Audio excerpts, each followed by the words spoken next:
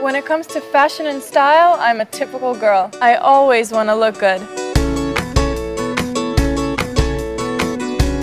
And fashion is a big part of my life.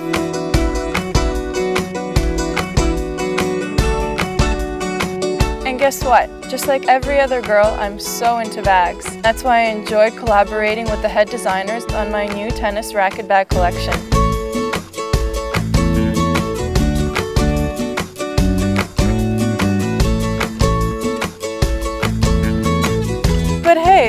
Just because I'm a girl doesn't mean I play like one.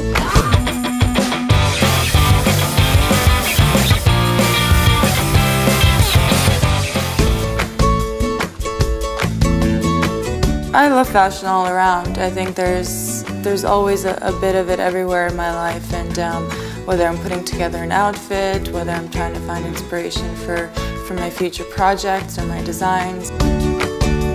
I think it's very important to feel good, to look good um, about yourself when you go out on the court because um, if you're comfortable with what you're wearing, with what you're carrying, um, I think it really helps your performance and you know really allows you to be free.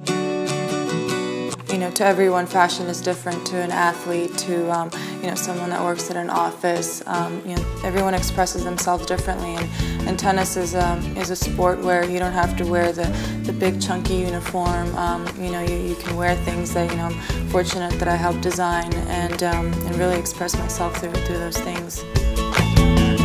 You know, obviously when you go on the court, it's very competitive and very athletic, and and, uh, and you know I use that in, in, the colors that we use and materials to have that you know that extra personality in the things that we design.